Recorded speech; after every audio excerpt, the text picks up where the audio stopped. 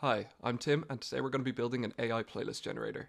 In Java, using Deep Learning 4j, we're going to take in a song title, and by understanding the semantic meaning of that song title, as well as the song lyrics, we're going to use it to build our own custom playlists. So before we get started, there's a couple things you're going to need. So first of all, you're going to need Java installed on your machine. After that, you're going to need Maven version 3.9.6 or higher. You're going to need a MongoDB Atlas cluster deployed. So for the dataset we're using, it's quite a large dataset, and it will exceed the limit of the M0 free tier cluster.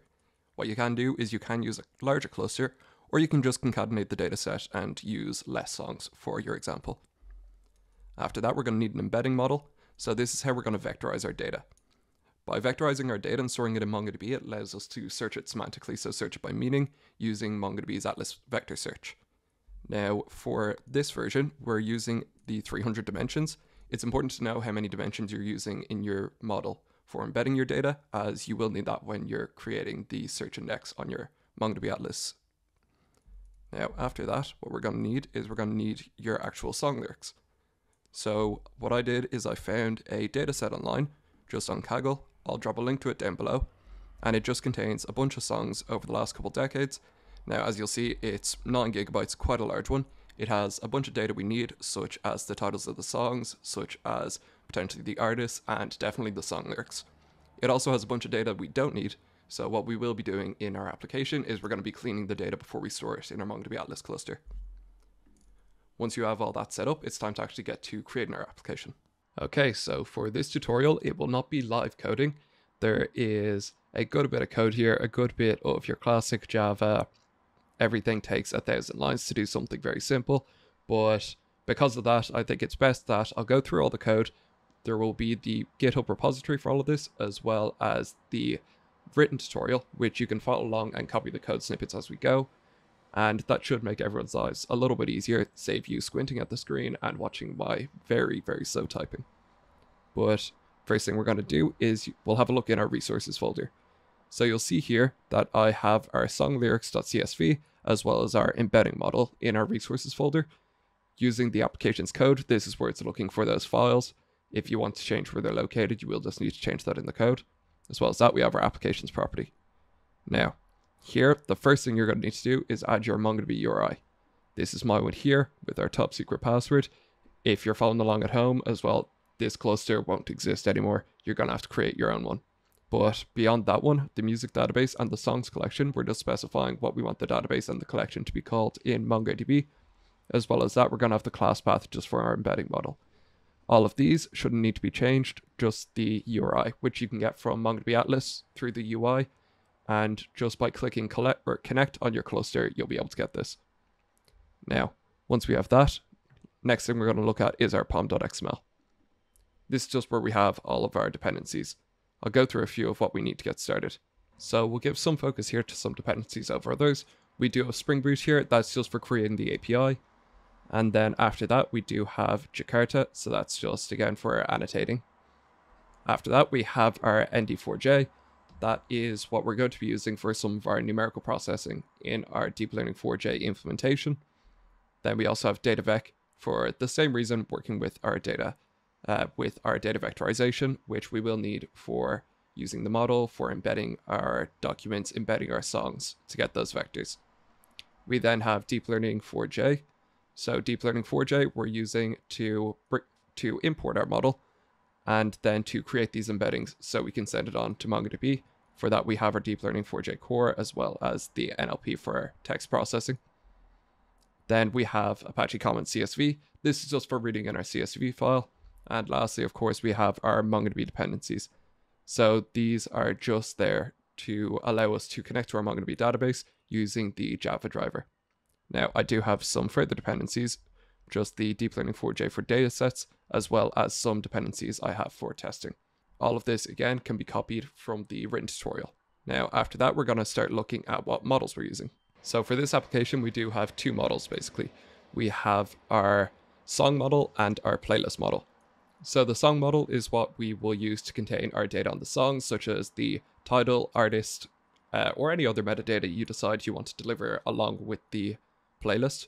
Of course, we're also going to have the lyrics and the embedding for the lyrics. So the embedding we're storing just as a list of double. it will be a list of these floating point numbers that are used to represent the data in that nth dimensional space, 300 dimensions in our case. Now, after that, we also have our playlist model.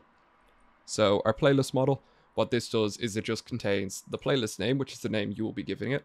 So whatever you decide, 20s, noir detective, uh, sad girl, wistful Wednesday afternoon. Any name you give that you want to capture the semantic meaning of, and then, of course, generate that list of songs. Now, of course, the playlist is just used for delivering the data to the user. We're not actually storing this in MongoDB. What we are going to be storing is our song. So this will generate an underscore ID to store in MongoDB, but we don't need that on our application end for this very simple implementation. After that, we can look at our MongoDB config. So our MongoDB config is how we're going to be connecting to the database. So of course here, it's super simple to get started. All we need is our Mongo client and our MongoDB URI. So with all of this, what we're going to do is we're just going to create a bean that will create our Mongo client. And then after that, it's configured with our connection URI. We can use that for connecting in our repository layer. So our Mongo repository is the layer that we're going to use to access our MongoDB database. In here, we're going to have our Mongo client and we're going to have our database and collection name that we've set in our application properties. Now, this is going to contain two functions. It's going to have a method for storing the songs in our database, as well as querying the songs based off the semantic meaning. So for storing the songs, it's going to do it automatically when we load in our CSV. We have all that logic in a service that we'll be going on to next. But for that, it's just going to take the lyrics, the title, the artist, and the embedding for the song, so the vectors. It's going to push it into our collection, and it's going to, of course, call this automatically from our service. Next, what we're going to do is we're going to have to be able to perform vector searches on the database. So Atlas Vector Search is how MongoDB performs the semantic searches on our data. What this means is basically words that are similar, have similar meaning, or have similar intent are be are able to be used for searching. So if I'm talking about ice cream and I'm searching up sundaes, ice cream will come up. Now, with that general idea, what this is going to allow us to do is it's going to give us a method for giving a playlist name, could be whatever playlist you want, could be Hope Core, Dream Core, Sunday Evening, and it will go through the lyrics of the song and it will try to match songs based off the lyrics that capture a similar semantic meaning. It does all this, of course, with our Atlas Vector Search, and it's going to use an index that we're going to create later. Now, for this, we do have some uh, conditions. We have our index name, which we're going to be creating later, but I have it hard coded in as vector index. You're going to need to pay attention to this. If you're going to change it on your collection, you're going to be able to, to give it its own name here. As well as that, we have the number of candidates to consider and importantly, our limit. So this will basically be our playlist length. So I just set it here for 10. It will work perfectly fine for this demo. If you wanted a longer playlist, put it up to 50. If you want a shorter, put it up down to 5. And it will just get however many you ask for, it will get that many similar songs. Of course, it will order the songs based on how similar they are. Now, once it performs that, it will then convert these retrieved documents into our songs, and we're going to be able to return that in our API. So now that we have all that covered, so that's basically how we interact with our MongoDB database, it's time to talk about the actual business logic. So we're going to go to our service class next. Okay, so we've looked at our models, our repositories, and now we're going to focus on our service.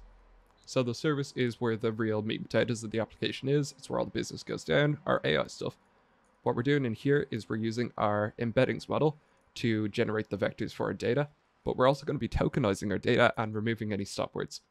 So I'll go through what that means. And for this application, because it is quite a hefty bit of code here, it's a few things going on. If you want to run this at home, check out our GitHub repo where I have all this code there, as well as the written tutorial where I go through it step by step if you want to copy the code snippets as we go through it. But we'll start at this at the start here and we'll work our way through it. Basically what we're doing is we're taking in our embeddings model and we're loading that. So our embeddings model is how we're actually going to uh, generate these embeddings for our, or generate these vectors for our data. So what we do is we're going to be tokenizing our data. So tokenizing our song lyrics, which basically means breaking up our lyrics. At the moment, it's in this big long string. We're going to be breaking up it up into individual words, we're going to be generating a vector for each word, and then we're going to get an average vector for the song. An important step in this will be getting rid of stop words. Now you'll see here I have a list of stop words, the, uh, and, and, basically words that don't provide a lot of context the actual song, we'll see repeating a lot, and we don't want it to skew our vector to something that doesn't provide a lot of semantic meaning. So these stop words, I've loaded it in manually. It's just a big long list of boring words. But there are different libraries available. The libraries are usually for Python or JavaScript, but you're able to convert stuff and bring them into Java. I just have a basic one here.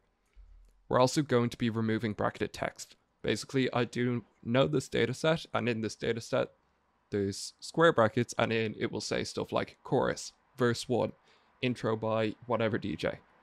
This, again, won't provide any semantic meaning to our vectors, so we're just removing it, we're cleaning up our data set. We're going to be tokenizing the text, which is, again, like I mentioned earlier, it's going to be breaking up the words into indiv individual words to create the embeddings. We're going to be getting the embeddings for each individual word, and then we'll be averaging it. So we'll get our average word vectors for the lyrics. Now, once we have that, we do have a couple of helper functions down here, just converting between different data types. We're working with these as a data type specific to ND4J, but we're going to be storing it as a double list in our MongoDB application as it's a supported BSON type. But yes, once we have all that there, we of course have our embed text, which is what we're going to be calling when we're either passing in the this Kaggle dataset or when we're creating a embedding for our generated playlist titles. Now, now that we have our embedding service gone through, we're going to look at the actual playlist service. Now, our playlist generator service is sort of the last piece in our puzzle. It's what allows us to take in that playlist name and generate a playlist of semantically similar songs.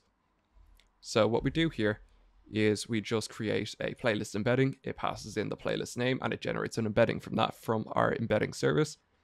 And then of course, if that fails, we do just have some error handling here, although not an entirely fully fledged application. This is perfectly fine for our demo. And then lastly, we're going to query our database. So we looked earlier in our repository, we had our Atlas Vector Search aggregation pipeline, which allowed us to get our semantically similar songs. You need the embedding to run that nearest neighbor search against the vectors in your database. So we pass in that embedded playlist and we get a list of what we called similar songs, or in our case, it's our playlist. So with all that in place, we do have just a little controller put up. Very, very simple controller what it does is it allows us to load our sample data and create a new playlist. Now, with all of this together, what I'm going to do is I'm just going to compile the application and get it running. I'll come back once I have all of that, and we're going to look at actually loading our data, querying our database, and of course, creating that vector search index on our collection. So now I've compiled my application and have it running. So it's running on port 8080.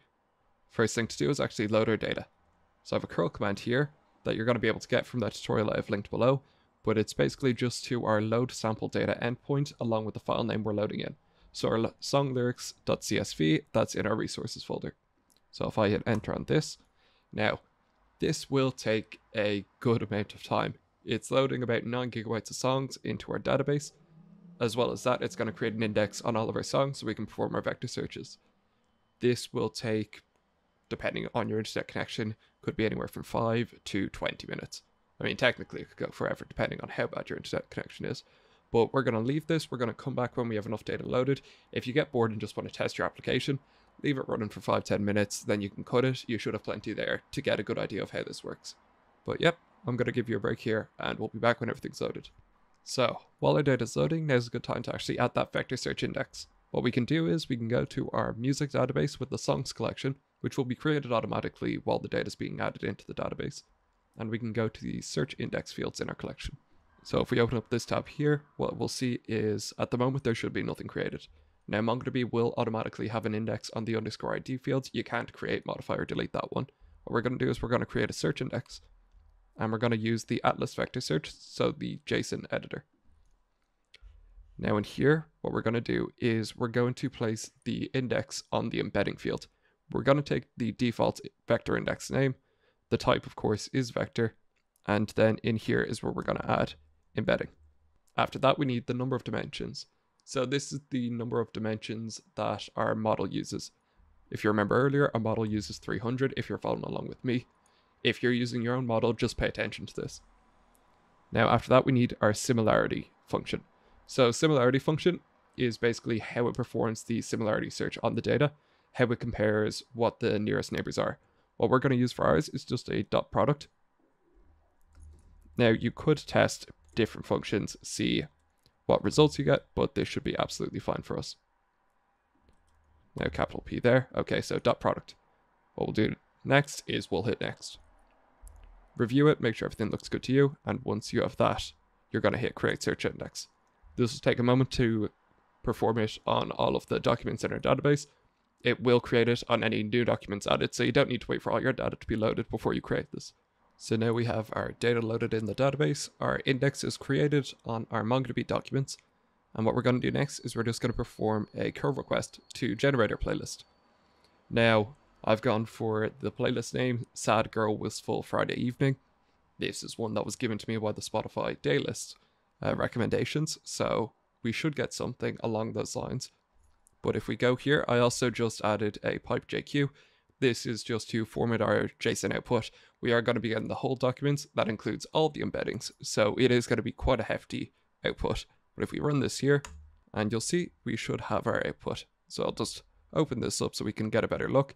And let's see what songs are in our playlist. If we scroll up here past all our embeddings, what do we have?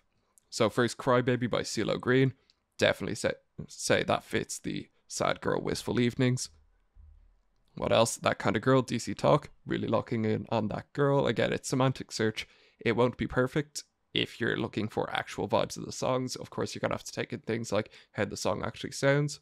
Something you could do to build upon this project is to add a method for capturing the semantic meaning based off that. I know we all know the difference between folk music and pop music just by listening to it. Singing in the Rain, definitely say that one works. Let's maybe go up to the top of our output and see what we have up here. And Lonely by Akon, definitely hitting that. And all the way past all of these numbers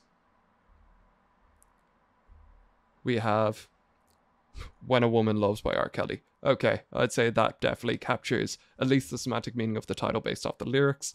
But again, there's definitely ways you can build upon this. Better you or better embedding models. You could have your own custom embedding models. You can take in stuff like using the Spotify API. You might be able to take in a user's listing history and create your own implementations based off that but this is a very simple implementation just to show you how to use Deep Learning 4j with MongoDB and get an idea of how to make these custom playlist generators. So in this tutorial, we've built our playlist generator using AI to create our custom playlists with Deep Learning 4j, MongoDB Atlas, as well as MongoDB Atlas Vector Search.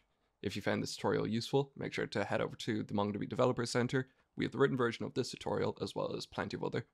If you want to learn more, you can also check out the MongoDB YouTube channel. If you have any questions, pop them in the comments below. I'll be there to check it, and don't forget to like and subscribe. Thank you.